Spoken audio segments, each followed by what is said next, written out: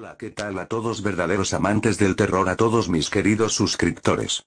Bienvenidos a este su canal, HDT Hora de Terror les agradecemos mucho a los que se están suscribiendo al canal, esperamos que el contenido sea de su agrado, sin más que decir. Vamos con el relato. Baba Yaga y la muñeca de Basilisa. Hace mucho tiempo vivían un comerciante y su esposa. Tenían una hija, una niña llamada Basilisa. Un día la madre puso una muñequita en las manos de la niña y dijo, Hija mía, me muero. Toma esta muñeca como mi bendición. Siempre llévalo contigo y nunca se lo muestres a nadie. Si te pasa algo malo, dale de comer a la muñeca y pídele que te guíe. Poco después la madre murió. El mercader pronto se sintió solo y decidió casarse de nuevo. Se casó con una viuda que creía que sería una buena madre, pero tanto ella como sus dos hijas envidiaban la belleza de Basilisa. Le dieron trabajo pesado al aire libre para que se adelgazara y su cara se volviera fea con el viento y el sol. A pesar de esto, Basilisa se volvió cada día más bella. Cada día le daba de comer a su muñeca y le pedía consejo. Una vez terminada la comida, la muñeca ayudaba con las tareas e incluso traía las hierbas de Basilisa para prevenir las quemaduras de sol.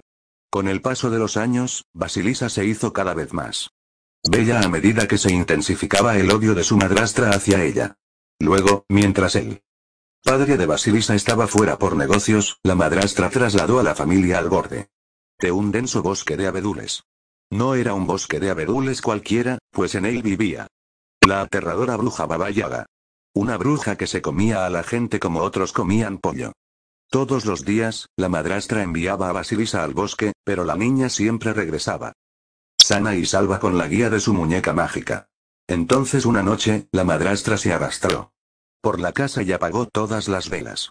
Al fallar la última vela, dijo en voz alta. Es imposible terminar nuestro trabajo en la oscuridad. Alguien debe ir a Babayaga y pedir fuego. No voy a ir, dijo la primera hijastra, que estaba cosiendo encaje. Puedo ver mi aguja. Y no voy a ir, dijo la segunda hijastra, que tejía medias, puedo ver mi aguja. Así que Basilisa fue arrojada al bosque oscuro y prohibido. A pesar de su miedo, alimentó a su muñeca mágica y le pidió consejo.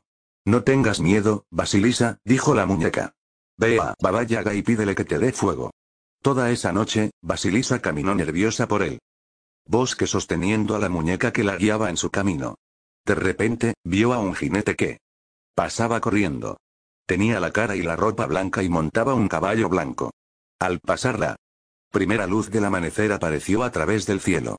Entonces, otro jinete se acercó. Tenía la cara y la ropa rojas y montaba un caballo rojo. Al pasar, el sol comenzó a salir.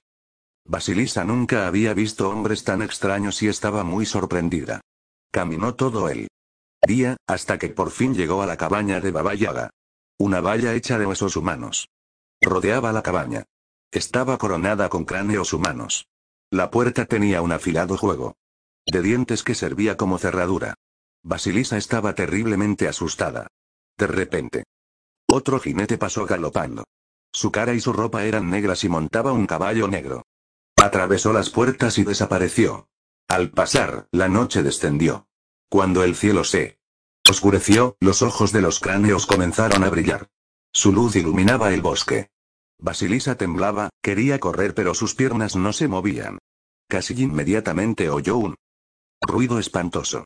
La tierra tembló, los árboles gimieron y allí estaba Baba Yaga. Cabalgando en su mortero. Se detuvo y olfateó el aire. Huelo a un humano. Gritó. ¿Quién está aquí? Basilisa se adelantó, temblando de miedo. Ella dijo, yo soy. Basilisa. Mi madrastra me envió a ti para pedirte fuego. Sé de ella. Contestó. Baba Yaga. Quédate conmigo por un tiempo. Si trabajas bien, te daré luz. Si no lo haces, te cocinaré y te comeré. Baba Yaga ordenó a las puertas que se abrieran y entró. Basilisa. La siguió y las puertas se cerraron rápidamente tras ella. Cuando entraron en la cabaña, Baba Yaga ordenó a Basilisa que le trajera lo que había en la estufa. Había suficiente. Comida para alimentar a diez hombres. Luego del armario recogía agua aguamiel, cerveza y griega, vino. Baba Yaga comió y bebió de todo. Le dejó a Basilisa nada más que una corteza de pan. Estoy cansada, dijo Baba Yaga. Mañana, Basilisa, debes limpiar el patio, barrer la cabaña, cocinar la cena y lavar la ropa. Entonces, agregó, tenéis que ir a la caja de maíz y separar semilla por semilla el maíz enmohecido del maíz bueno, y cuidaros de quitar todos los trozos negros. Si no completas estas tareas, te comeré. Pronto Baba Yaga empezó a roncar, su larga nariz se estremeció contra el techo de la cabaña. Basilisa sacó su muñeca del bolsillo, le dio una corteza de pan y le dijo, por favor, ayúdame. Baba Yaga. Me ha dado una tarea imposible de hacer y si fallo me comerá. El muñeca le respondió, no. Tengas miedo, Basilisa, come tu cena y vete a la cama. Las mañanas son más sabias que las tardes. Aunque Basilisa se despertó temprano a la mañana siguiente, Baba Yaga ya se había levantado. Basilisa fue a la caja de maíz y encontró la muñeca escogiendo los últimos trozos negros. Las otras tareas también se cumplieron. El muñeque dijo, todo lo que tienes que hacer ahora es preparar la cena y después descansar. Basilisa agradeció a la muñeca y fue a preparar la cena. Cocinó la comida, puso la mesa y esperó. Cuando los ojos de los cráneos comenzaron a brillar, los árboles gimieron, la tierra tembló, y allí estaba. Baba Yaga. ¿Has hecho lo que te dije? Le preguntó a Basilisa. Véalo usted mismo. Contestó la chica. Baba Yaga estaba muy disgustada, ya que quería comerse a la niña, pero las tareas estaban terminadas. Escondiendo su enojo, dijo, muy bien, y luego gritó a gran voz. Mis fieles siervos muelen el trigo. De la nada aparecieron tres pares de manos. Tomaron el trigo y desaparecieron. Baba Yaga comió la cena y le dijo a Basilisa. Mañana tienes que hacer las mismas tareas y luego tienes que ir al almacén y sacar la suciedad de las semillas de amapola. A la mañana siguiente, Baba Yaga volvió a cabalgar. En su mortero. Basilisa, con la ayuda de su muñeca, terminó las tareas. Por la noche, la anciana regresó y revisó todo. Aparecieron tres pares de manos. Tomaron el contenedor de semillas de amapola y desaparecieron. Baba Yaga se sentó a comer. ¿Por qué? dijo ella.